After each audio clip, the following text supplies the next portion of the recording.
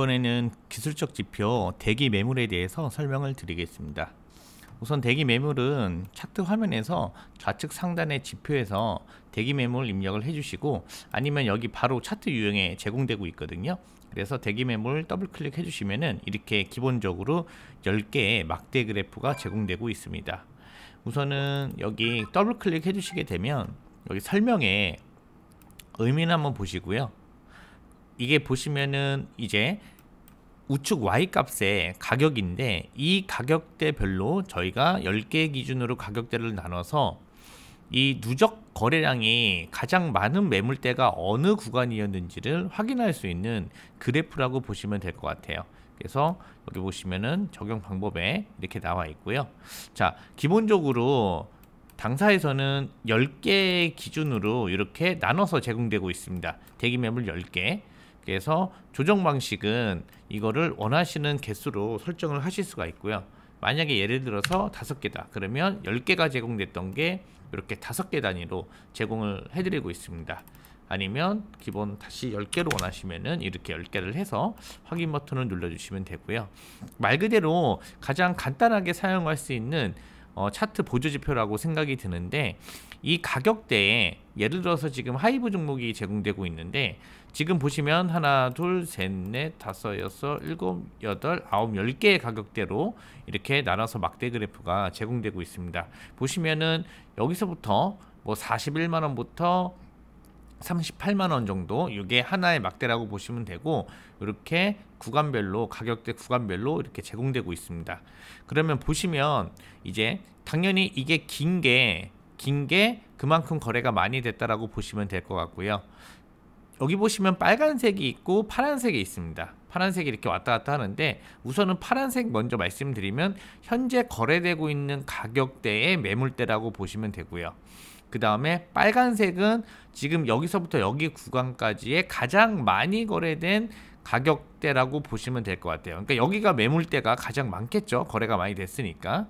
그래서 자세하게 보시면 이 전체 비중의 15.86%가 이 가격대에 거래가 됐고 어, 2,100만 주 정도가 거래가 됐다라고 보시면 될 것 같아요. 그래서 각 퍼센테이지별로 거래량이 나와 있으니까 보시면 될 것 같고 그러면 여기서 거래량이란 분명히 매수가 있고 매도가 있을 텐데 어, 어찌됐든 그거와 매수 매도와는 상관없이 거래가 그만큼 됐다라고 생각을 해주시면 될 것 같아요. 물론 이 거래 안에 파는 사람도 있었을 거고 사는 사람도 있었을 겁니다. 근데 어찌됐든 팔았던 사람은 이 주식이 없기 때문에 이제 매물대가 아닌 거죠. 근데 누군가는 샀으니까 매도가 된 건데 그러면 산 사람들이 어, 거래가 됐다라고 보시면 될 것 같아요. 그래서 어찌됐든 남아있는 어, 주식수의 물량은 어, 어찌됐든 매도하신 분들은 주식이 없는 거니까 그냥 그렇게 생각을 해주시면 될 것 같고 이 거래량의 뜻은 매수 매도의 쌍방향으로 생각을 해주시면 될 것 같아요.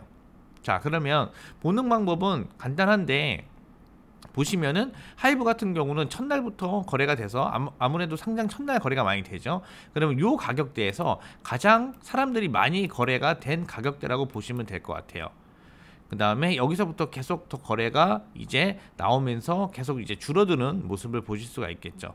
그러면 여기서부터 상장 첫날부터 지금까지의 내용을 봤었을 때 요 가격대 27만 원부터 24만 원 정도 25만 원 가격대에 가장 거래가 많이 됐다라고 보시면 될 것 같고 그러면 거래가 가장 많이 됐다라는 뜻은 어쨌든 매수든 매도든 많이 됐는데 매도한 사람은 없을 거고 매수한 사람들이 있을 텐데 그러면 가볍게 보시는 경우 중에 하나가 여기서 거래가 가장 많이 됐으니까 음, 보시면은 이 매물대 가장 많이 거래된 매물대를 혹시나 돌파하게 되면은 그러면 이제 그 이후로 가장 강력한 저항선을 돌파를 했기 때문에 이렇게 상승할 수 있다라고 정도만 생각을 해주시면 될 것 같아요. 근데 지금 보시면은 음, 이거는 기준이 딱 이렇게 나와 있는데 다른 종목을 한번 보여드릴게요. 뭐 예를 들어서 아프리카 TV, 아프리카 TV는 예전 거부터 하게 되면 이 가격대 4만 원대부터가 매물대예요.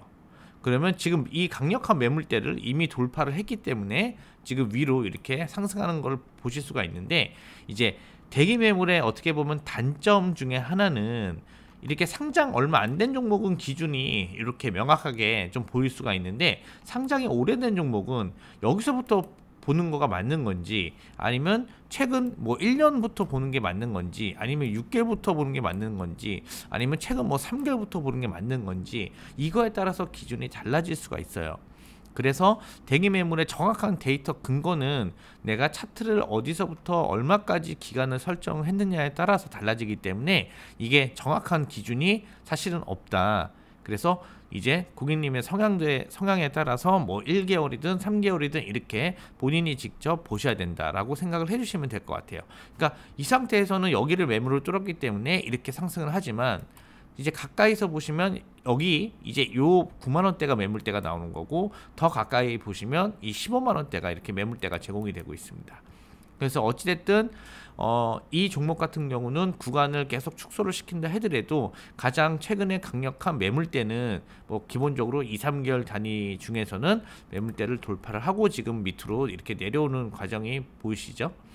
만약에 이 상태에서 뭐 이 강력한 또 매물대를 하회를 했다라고 하면 반대로 한번 생각을 해보시는 게 이 대기 매물의 그 내용이라고 보시면 될 것 같아요. 이 종목 보시면 상장한 지 얼마 안 됐죠? 그러면 상장한 지 첫날에 여기서 엄청나게 거래가 많이 됐잖아요. 여기서 여기서 여기서 그리고 다시 지금 가격이 내려와서 여기서 거래가 많이 되고 있어요. 이렇게 지금 파란색과 빨간색이 지금 하나로 보이는 거는 여기서 가장 거래가 많이 됐기도 했고 지금 현재 매물대 가격이 여기이기 때문에 이게 중복해서 제공해드릴 수가 없어서 한 색깔로 보이는 겁니다. 만약에 대기 매물을 봤는데 빨간색이든 파란색이든 색깔 하나만 보인다. 그러면 겹친 거라고 생각을 해주시면 될 것 같아요.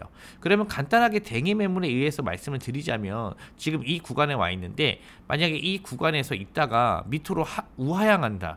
그러면 가장 강력하게 지지 했던 이 매물대가 내려가는 거기 때문에 뭐 우, 우하향 할 수 있다라고 생각하실 수가 있고 반대로 우상향 한다라고 하시면은 이제 이 대기 여기에 지켜 있던 가장 강력한 그 매물대를 지켜서 올라갈 수 있다라고 이렇게 한번 생각을 해주시면 될 것 같아요.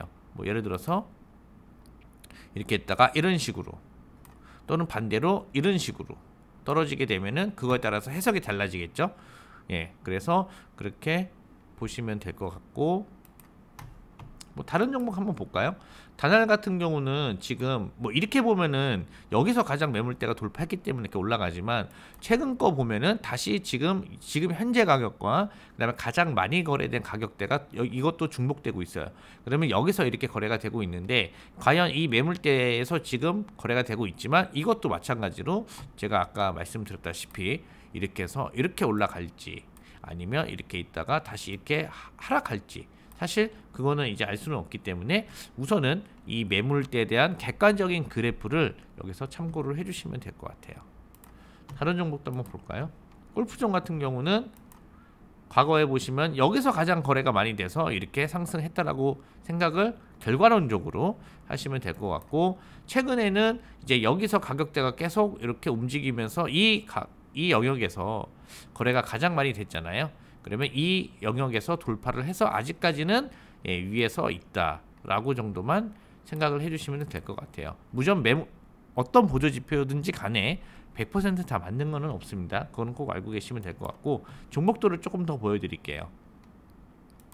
여기 보셔도 첫날에 상장됐을 때 가장 많이 거래가 됐어요. 가장 많이 거래가 돼서 지금 요 부분에 지금 15만 원과 14만 원, 요 부근에 가장 많이 거래가 돼서 여기에 매물대가 가장 세다라고 보시면 될 것 같고 지금 다시 상, 상승했다가 하락해서 이 매물대에 와 있어요. 그럼 이것도 마찬가지로 여기서를 지지하고 올라갈 것인지 아니면 이거를 돌파를 하고 하락할 것인지는 모르겠지만 지금 가장 많이 거래되고 있던 영역은 지금 현재 거래되고 있는 요 지금 가격 영역대다라고 생각을 해주시면 될 것 같아요.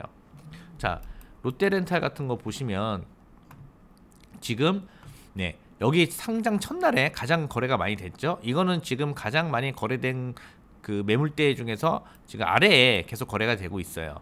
그래서 만약에 이게 상승을 해서 여기 매물대를 돌파를 한다고 했었을 때는 또 한번 다르게 생각할 수 있는 그런 기준을 이 대기 매물을 통해서 확인하실 수가 있, 는 겁니다. 케이카 같은 경우도 상장한 지 얼마 안 됐는데 이것도 보시면 지금 이 가격대에 가장 거래가 많이 됐어요. 그래서 많이 거래가 돼서 현재 이것도 거의 이 매물대 비슷한 그 가격대에서 거래가 되고 있다. 이것도 여기서 돌파를 하게 되면은 또 하나의 뭐 상승 이런 힘이 나올 수 있겠다라고 이렇게 참고만 하시면 될 것 같아요. 마지막으로 엔캠이란 종목도 첫날에 여기서 거래가 많이 돼서 가장 많이 거래된 매물대가 상장 첫날, 뭐 둘째 날 정도로 볼 수가 있겠고요. 지금 아직까지 이 종목은 이제 이큰 매물대 위에서 이렇게 거래가 되고 있다라는 점을 보실 수가 있어요. 자, 그래서 제가 간단하게 대기 매물에 대해서 설명을 드렸습니다.